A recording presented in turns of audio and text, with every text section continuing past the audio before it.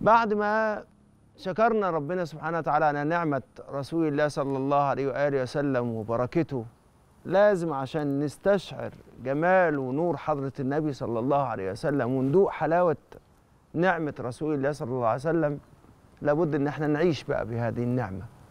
ومعنى إن إحنا نعيش بهذه النعمة إن إحنا نصاحب رسول الله صلى الله عليه وآله وسلم. مش هتقدر تستشعر نعمة رسول الله إذا ما صا... لم تصاحب رسول الله. ولازم عشان تصاحب رسول الله لازم تعرف أن الله سبحانه وتعالى عندما جعل رسول الله ينتقل إلى الرفيق الأعلى جعله ينتقل, ينتقل إلى الرفيق الأعلى ليكون معنا دائما بروحه صلى الله عليه وآله وسلم.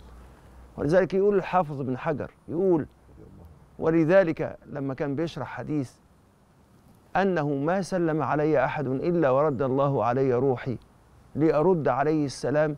قال ومن هنا نعلم أن رسول الله حي على الدوام لأنه لا يوجد نفس ولا طرفة عين إلا وهناك من يسلم على رسول الله. فروحه دائمة. فالله سبحانه وتعالى أخرجه من ضيق أن يفهم إنسان أنه بعيد عن رسول الله صلى الله عليه وسلم.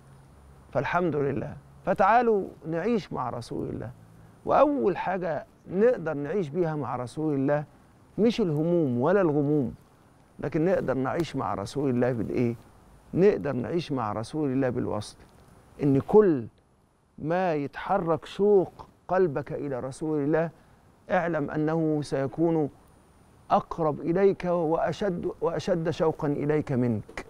لأن رسول الله هو الذي اشتاق إلينا قبل أن نشتاق إليه. قال اشتقت لإخواني اشتقت لأحبابي. فهنا بعد ما تدوق الحلاوة هتشتاق لرسول الله. فأول حاجة تعملها أن تشتاق لرسول الله. طب تعمل إيه عشان تشتاق لرسول الله؟